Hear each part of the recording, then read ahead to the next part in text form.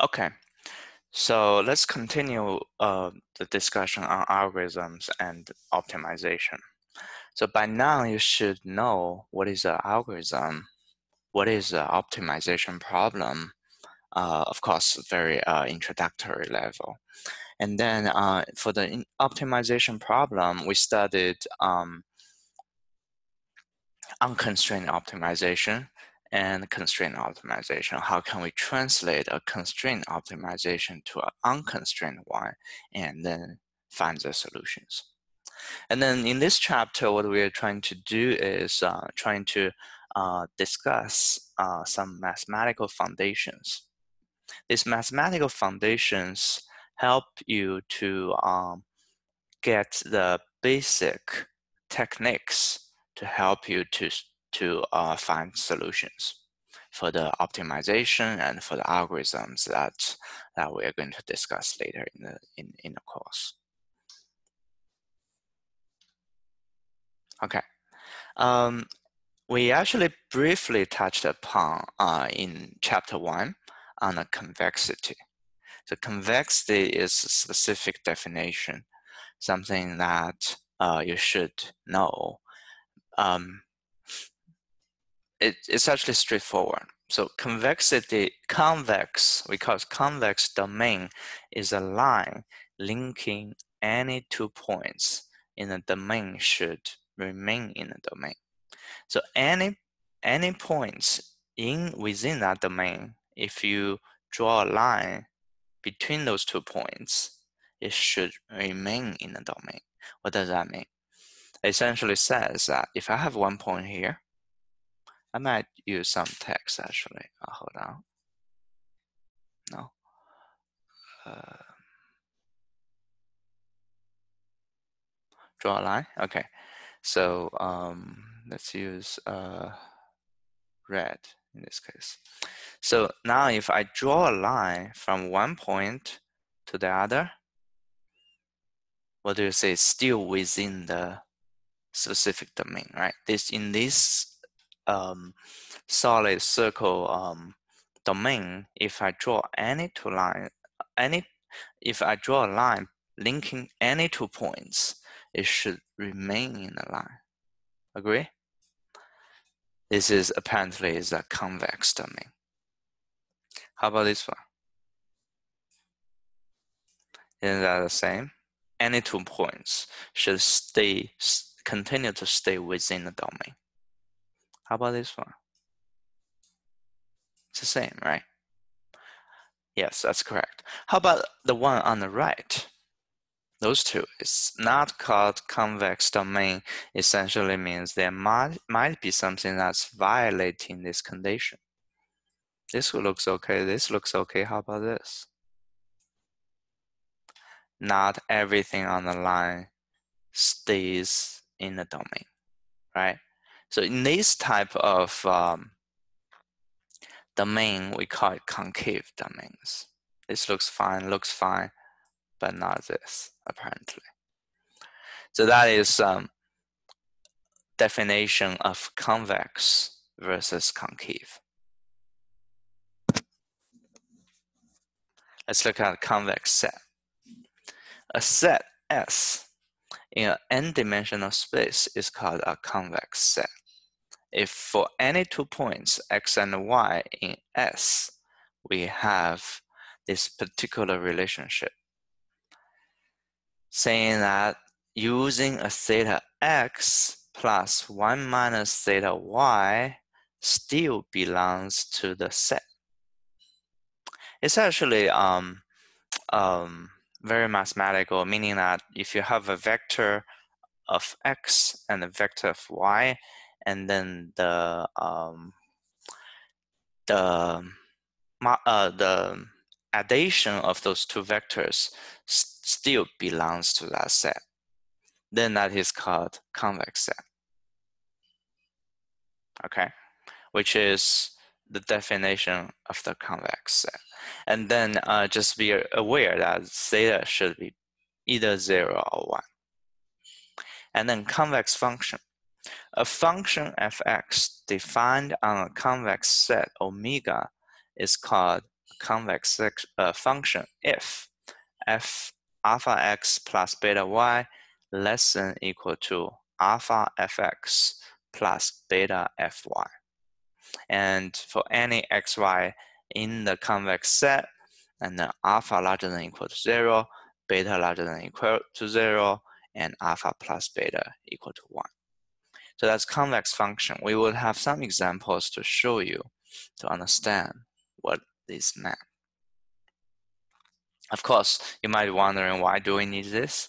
Then it's really that because certain conditions for this convexity have to be met in order you can in order to find the optimal solution for optimization problems.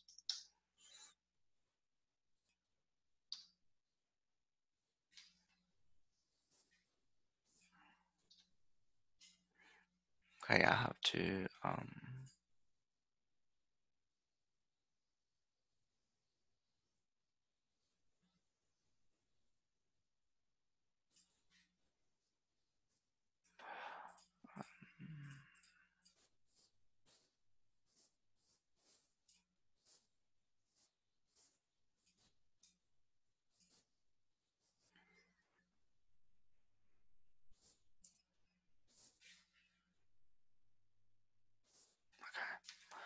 Um, so let's say um, this example. want you to show that fx is x squared minus 1 is convex. We can show that the inequality always hold for any x and y so that um, alpha x plus beta y squared minus 1, so which is f alpha x plus beta plus beta y should be less than equal to alpha times fx plus beta times fy. If you go back to the uh, definition um, on the previous page, you can see f alpha x plus beta y less than this plus beta fy. So now we put that in. Now we want to prove whether this is the case. Um, assuming it is true, and let's rearranging the inequality. What essentially you do is, you know, you expand this and then expand those two, and then uh, minus move this to the left hand side, move this to the right hand side, and do some uh, rearranging, you come back with this uh, equation.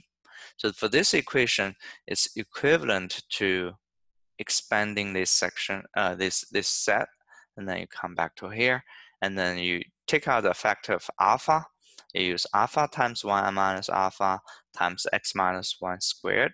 You can come back with this relationship. This is larger than equal to 0, uh, just because we said alpha beta larger than equal to 0, but also squared larger than equal to zero so that we know this is larger than equal to zero. Because this is larger than equal to zero, so we know this is larger than equal to zero so that we know this relationship holds, meaning which is always true. So the inequality is true and fx is indeed convex. So the inequality is true, meaning this inequality is true, and so that we can we can prove that fx is convex. It's a convex function. So property of convex functions, if f1 and f2 are convex, the linear combination of those two functions are convex as well.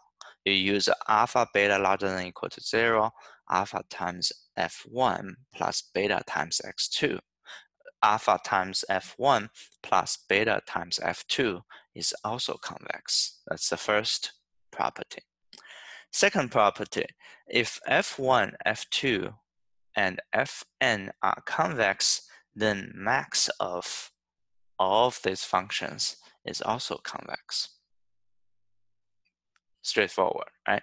The next one, if fx and gx are convex, then f of gx is convex under non-decreasing conditions. For example, um, exponential fx is convex if fx is convex. So that is to say, if fx is convex, we know exponential x or exponential y is convex as well, so that um, as long as exponential y is non-decreasing, then we know exponential fx is convex because we know exponential function is not decreasing, so then we know exponential fx is convex is if fx is convex. So those are three properties of convex foundations uh, functions. As you are aware, I'm not giving you proof to any of the properties or all the theory. That's the key point I'm trying to tell you. That is, we we get into certain depths of math, but we didn't actually go all the way to the uh, very deep in math because sometimes you have to leverage the theorem, theorem output rather than try to prove that um, theory. I think proving the theory is important, but sometimes it can be very uh, uh, tedious for a lot of you. The reason uh, I kind of skip and also the reason that the textbook is valuable is because it, to some certain point, has some math, but you really don't need to get into too much of the weeds of the math.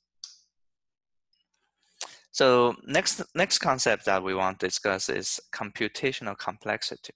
If you studied uh, any computer science or algorithms course, you would know that this is this is foundation for a lot of algorithms. So um, what is what what is computational complexity? Let's before we move on, we use this order notation. The main notation in complexity, complexity theory is order notation big O. For for a given problem size n, big O n squares means that the calculation takes the order of n squared algebra, algebraic operations. So both 10 times n squared plus 100 and 5 times n squared are the same order of big O n squared um, complexity if n is usually large. Okay, this is an example. Let's look at a specific example. The multiplication of 2n times n square matrices A and B has a complexity of uh, big O notation of n cubed. So um, you might be wondering why, right? So let's take a look at the product of C, uh, a product of A and B, which is C. C equal to A product B has n by n entries, right? Because A is n by n, B is n by n. As a product output of matrices, it should be n by n. And each entry is the sum of the product of um, row A and column of B, which requires n multiplications and n minus one sums. So here you, you realize what, what we're saying, right? For uh, if I use a text here, no, maybe not. If you remember that for A, yeah, what you do is you use one row times a column of the B, each each element, element-wise multiplication, and then add them up. That would be output of your first element of your um, C matrix. So it requires n multiplications because A has n, the first row has n elements this first row elements times first column of that n, n um, elements, it's um, n multi multiplications, right? And then each ele element wise, each one times the other one plus the second one times the second one, so that it's n mult multiplications. And then after that multiplication, you add them up, it's n minus one sums. Therefore, the complexity of obtaining one entry of O of C is big O n because we have n multiplications and n minus one sums in there. So the total number of algebra algebraic operations is because we know it's an n by n matrix is each each element we get is uh, big O n. So it's big O n times n by n. The big O n cubed, um, n cubed computational complexity for this um, matrix multiplication.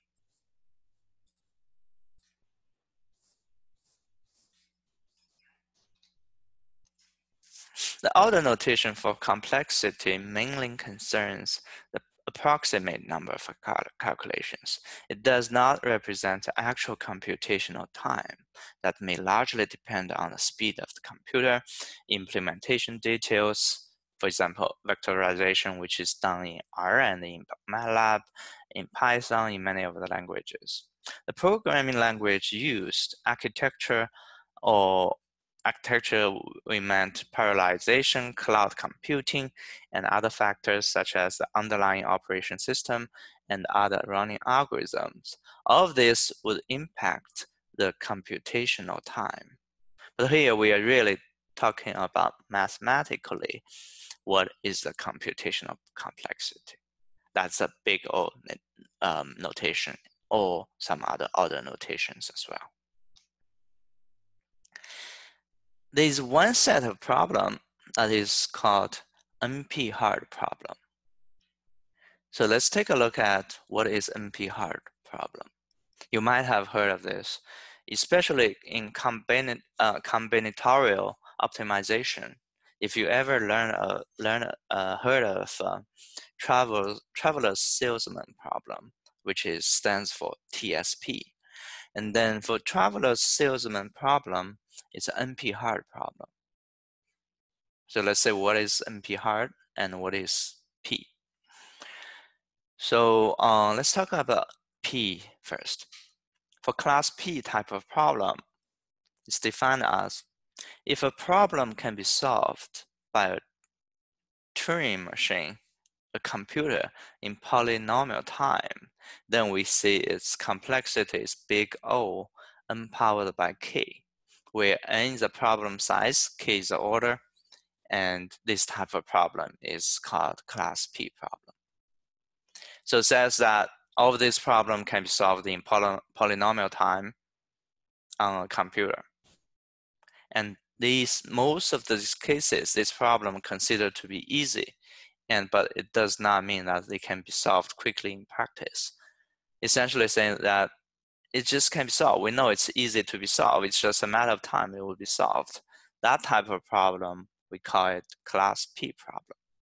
For example, that we just said, multiplication is big O n cubed, and inverse of a matrix is big O cubed as well.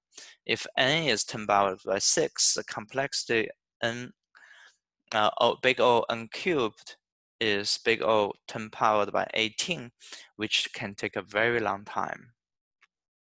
So for a computer with Intel Core i7, it has about 150 times 10 powered by flops or 150 gigaflops, which means that it requires um, around this many seconds, which is around 77 days to solve this problem. It takes time to solve, but we know eventually it will be solved. So this is some something that we call it polynomial time class P type of problem. So what is class NP, non-deterministic polynomial time? Then you know it's not going to be solved in polynomial time. So it's some sort of problem that's difficult to solve because the time tends to increase exponentially with problem size. Um, I just talked about traveler salesman problem, which is TSP, of visiting each of the n cities exactly once. The number of possible combination is n, q, n, n factorial for 100 cities is 9, um, 9.3 times 10 powered by 157. This number is really big, it takes much longer than the age of the universe by all computers in the world to try all combinations. So many of the problems in data mining and machine learning could belong to class NP, non-polynomial type of problem. It's difficult problem. So before I, we move on, actually, I do want to show you what is um, what is um, um, traveler salesman problem. So let me use this space. So if we have a couple of cities, so for UPS, there's no means that the bigger the dots, it means anything. So the UPS travelers in the morning, the delivery guy make a, need to make a decision on which are the cities that, which are the address that I, I need to go, and then in what order. So this is a problem called traveler's salesman, salesman problem. So for example, this is a UPS store. Let's assume this is a UPS store. So we want to start from here. The, the, the driver wants to start from there and then start making a tour, right? Here, and then uh, let me use a different color. Goes there first, and then there, and then there, to visit all of the cities and then come back. This would be one solution. There could be some other solutions, right? It could start from, let's use a different color, could make a decision on, okay, I go there first and then go there and then I make a decision to go there.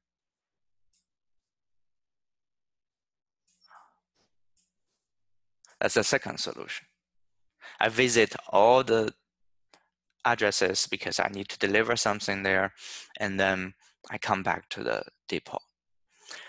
That's class NP. Now, one of the example, traveler salesman problem, you can see that if it's 100, you have to have 100 factorial possible combinations. Take a lot of time to solve. Of course, there are a lot of heuristics to help you to avoid the fact that you need to go through all of the solutions, all of the possible solutions. So that's NP hard type of problem. Okay.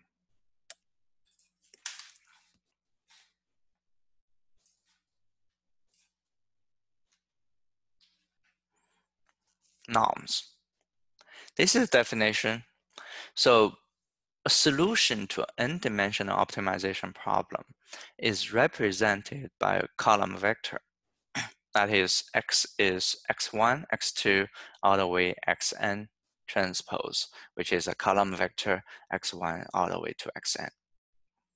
So if you remember that for, for the problem that we discussed in chapter one, x and y essentially is this vector, right?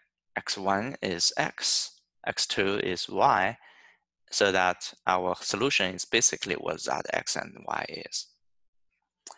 And then uh, we want to define something called LP norm or P norm.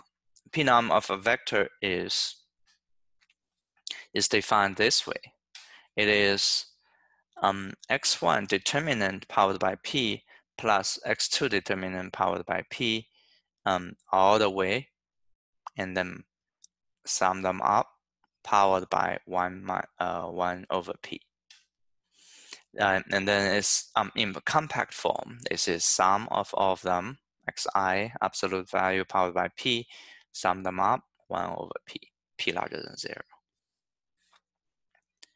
So commonly used norms are p equal to 2, It's something called Cartesian or Euclidean. You probably know this, it's distance, right?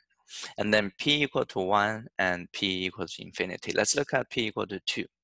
The p equal to 2, 2 norm or LP, L2 norm is square root of x1 squared plus x2 squared plus all the way xn squared. Just every single one squared and then sum them up and take the square root of the sum. p equal to 1 is something called Manhattan distance or Manhattan norm. It's x1 absolute value plus x2 absolute value all the way at the, add them up. And the x infinity norm equal to max of x1 absolute value, x2 absolute value, and all the way xn. So this is called maximum norm.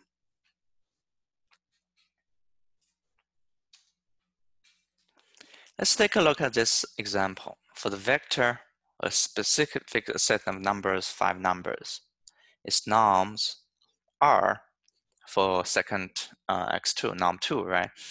Uh, 2 norm is square root of this is 12. And then, of course, we have the uh, L1 and L infinity. Now it's an exercise. You should use R to calculate different norms of a vector. So um, so the graph is really just give you a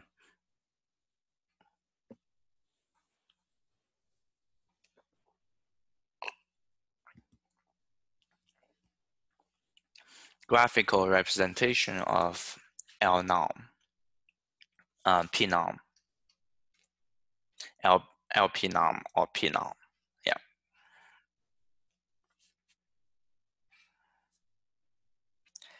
And then um, this um, red square is P equal to one and blue is P equal to two. And then um, green is P equal to infinity. This would be used in the um, some uh, some of the variation of the data mining algorithms. For example, uh, you you probably heard of linear regression, but you uh, if you remember, there are some um, LP norm type of um, constraints, uh, type of penalty terms that will be added to the objective function of linear regression. Uh, we're going to discuss this very shortly in next next chapter, I believe, um, so that you just remember this concepts or definition for now. And then this is how it looks like when p equal to 4 and p equal to um, a half as well on the right hand side. Eigenvalues and eigenvectors. This is from um, linear algebra, I would say, right? Yes, linear algebra. So for, for square real matrix A, it stands for A sub ij. So A11, A12 all the way A1n, and AN1 and AN2 all the way ANN. Its eigenvalue, eigenvalue lambda, and its corresponding eigenvector mu are given by A times U equal to lambda times U. So for the matrix, U is the eigenvector and lambda is the eigenvalue which can, can be calculated by determinant of a minus lambda i equal to zero, zero. So the way that was done is um, do some sort of um, manipulation of the original uh, relationship. A times mu equal to lambda times mu. Um, so um, you you can find that uh, in order to find in order to find um, the corresponding lambda and mu, you can you can use determinant of a minus lambda r equal to zero to find the eigenvalue and eigenvectors. Since A has a size of n by n, there are usually n eigenvalues. We use lambda 1, lambda 2, lambda 3, all the way to lambda n to represent those different eigenvalues. And then n corresponding eigenvectors as well It's a ui, u, u1, u2, all the way to un. Although the eigenvalues may not always be distinct. So we know we have n eigenvalues, n eigenvectors, but there's a possibility that the n eigenvalues are not distinct. This would be useful when we do uh, analysis on, uh, algorithms such as uh, um, clustering and dimension reduction. When we do dimension reduction, when we do the clustering, we do need to um, take a look at the eigenvalue and eigenvectors. Properties of eigenvalues. If the eigenvalue of A are lambda i, and then eigen, eigenvalues of A powered by k, or lambda i powered by k, where k is a positive integer, um, for this for this uh, for this definition. So you just be aware that if you know if uh, all the lambda i's are the eigenvalues, then the eigenvalues of the original matrix time powered by k are the, are the um, eigenvalues of original matrix powered by k are the eigenvalue of original matrix, which is lambda i, and then powered by k. That is the one of the property that you should be aware. A definition. If all the eigenvalues lambda i are of square symmetric, A are all positive, that is, that is to say all of the lambda i's are larger than zero, and then the matrix is called positive definite. And then if one of them is less than zero, then A is negative definite. So we can leverage eigenvalues to define the original, original uh, matrix. In general, if all lambda i larger than equal to zero, A is positive, positive semi-definite, and then conversely, if all of them are less than equal to zero, we call it negative semi-definite. So these are purely those three are definition. So for example, uh, this seven, uh, this matrix A has an eigenvalue of four and 10, you could use uh, determinant of A minus lambda I. I is uh, indicate identity matrix equal to zero to get the um, eigenvalues of uh, 4 and 10 for A. And then for B, you have eigenvalues of negative 4 and 10. And then just because the definition, we know if both of them are positive, we say that A is a positive definite. And then for B, because one of them is um, um, negative, the other one is positive, so that we cannot say it's positive definite or negative definite. It's just it's just not right because one of them is negative, the other one is positive. So as an exercise, you can find the eigenvalues and eigenvectors of a three by three matrix using R.